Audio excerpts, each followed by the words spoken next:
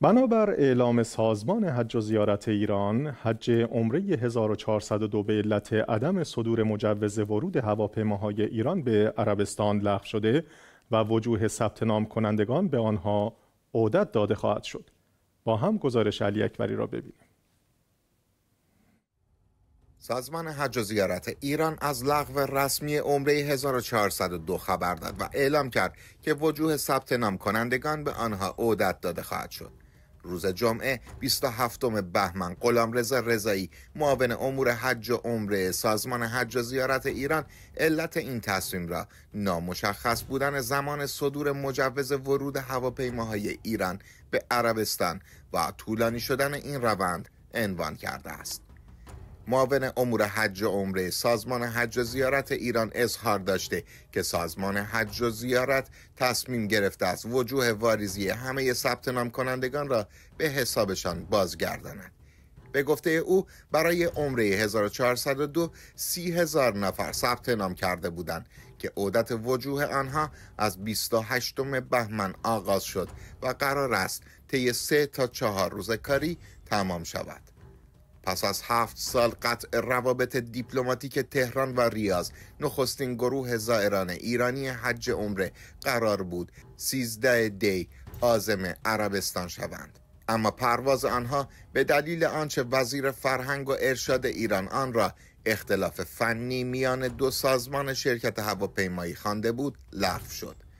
سخنگوی سازمان هواپیمایی ایران. اما حدود یک ماه بعد گفت تا کنون اعلام رسمی و یا غیر رسمی از سوی سازمان هواپیمایی کشوری عربستان داله بر وجود اختلافات فنی واصل نشده است. ریاض علت خودداری از صدور مجوز به پروازهای ایرانی را تا کنون اعلام نکرده است. اما مقام های ایران پیشتر اعلام کرده بودند. زائران با هواپیماهای ایران ایر و معراج که با تحریم های آمریکا روبرو هستند قرار است به عربستان سعودی پرواز کنند.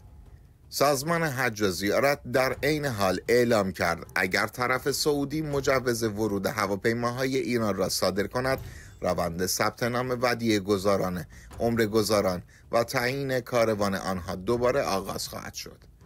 روز سهشنبه 24 بهمن عبدالفتاح نواب نماینده رهبر ایران در امور حج و زیارت از لغو پروازهای عمره به دلیل بلا تکلیفی از ناحیه عربستان اظهار تأسف کرد. یک روز پیش از آن و در 23 بهمن محمد مهدی اسماعیلی وزیر ارشاد با عبدالله بن سعود الانزی سفیر عربستان سعودی در تهران ملاقات کرد و از او خواست مشکل عمره هرچه زودتر حل شود. عبدالله بن سعود الانزی در این دیدار گفته بود این مشکل به مسائل اجرایی و تخصصی در زمینه سفرهای هوایی باز می گردد و در حال رفع است. پس از تعطیلی عمره از سال 94 و بروز اختلاف بین تهران و ریاض حدود 6 میلیون ودیه گذار ایرانی منتظر از سرگیری حج عمره بودند.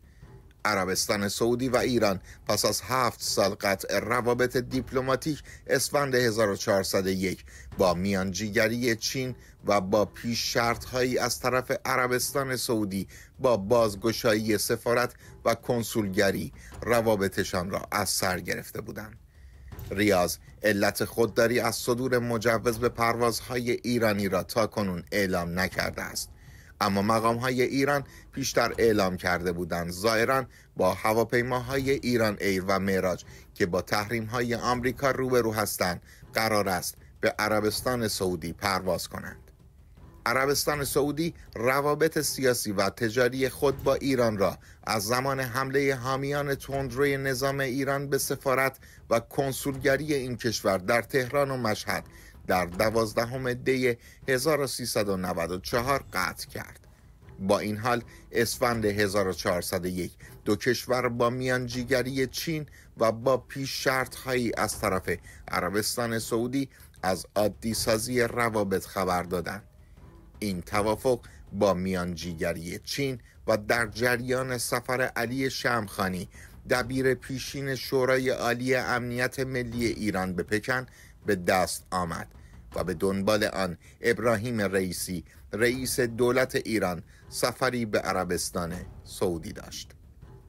علی اکبری اخبار شیعه.